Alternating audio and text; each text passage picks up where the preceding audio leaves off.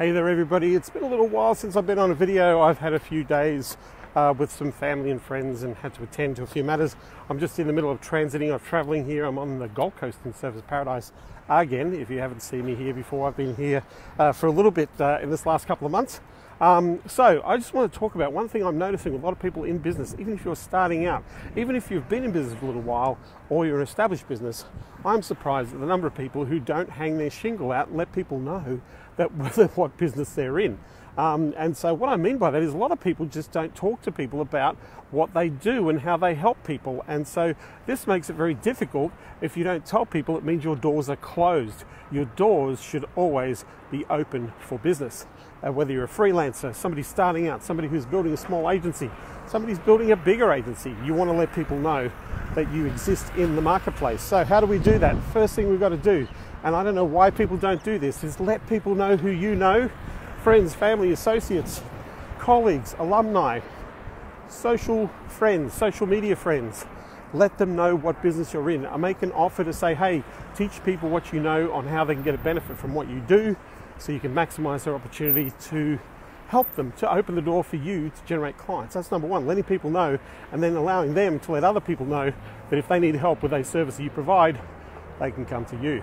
Second thing, is you need to start building some, building some digital assets. You've got to get some personal branding, some business branding, so letting people know. So one of the ways in which you do this is create some content, create some pieces, some what I call signature pieces. Um, sorry for the Ferrari that just uh, literally drove past me. Uh, very noisy in a very uh, slow uh, part of town. So anyway, um, so you want to make sure that you have some digital assets. What I mean by that is the easiest way to do this is answer the problems. What are the key problems that people have in the marketplace in relation to the service that you offer? And answer those questions. Create a PDF, a report, answer the questions with a video, uh, answer the questions with some content, put it on your site, brand your business as the problem solver and the results getter for the problem that the market is having. So you want to create some personal branding, some digital assets, because people are going to check you out and people want to see that you are legitimate, that you are in business and you're a legitimate business owner. The second thing, just you want to let, uh, you know, from a professional point of view, if you're in the B2B space, you want to update your LinkedIn profile because people are looking for you, they are searching for you, and so you want to make sure that what they see is something that's professional and that is going to help them to see that you solve a problem that they should be reaching out to you. So, in your LinkedIn profile, make sure you're using your keywords to target your market. Make sure you're using the summary section to articulate how you help people, not uh, this is my resume, right? How you actually help people, how you help people get results, how you help people solve the problems that they have in the market in relation to your service, and even make an offer in that summary section to say, hey, if you want a little bit more, let's sit down, I can show you, or I can teach you, I can share with you how you get amazing results with that. So there's three things. Next thing, look at business groups in your area. I don't mean online or internet marketing groups or entrepreneur groups. I'm talking about local business groups in your city. So for example, I'm here in Surfers Paradise. There is a Facebook group for Facebook business for businesses right here in this city. And I can join that Facebook group.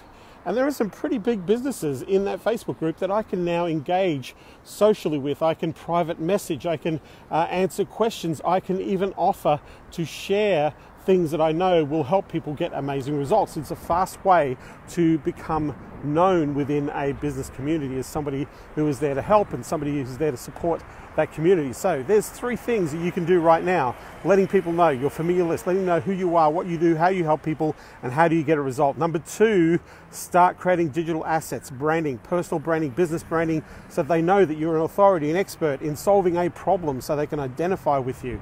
Uh, get on LinkedIn and make sure that you manage your profile a little bit more effectively, letting people know because they will search you, they will look for you on the social media platforms, and it does give you awesome SEO ranking for your name in LinkedIn. And the fourth thing is connect with a business group in your local market, a business group for the city, town, whatever, you, wherever you are, and start adding value into that group. Start asking questions. Start sharing how you can help with help people, and open yourself up to some business. So remember what you want to do, and most people don't do this, and I have no idea why, or maybe they just completely forget about this idea. Is you want to hang out the metaphorical shingle to let as many people know that you're in business, that you're open for business, and you want to help people out with what you do. Thanks for watching. Hey, keep an eye out for another post. A little bit later today, I'm holding an event right here in Surfers Paradise for consultants, people who are starting their business, people who are in business, people who are scaling their businesses in the agency and the consulting markets. And I'm going to be sharing some really cool stuff. Two day event uh, right here, and I'm also going to give you $1,000 cash towards coming to the event. There is an early bird ticket you can purchase.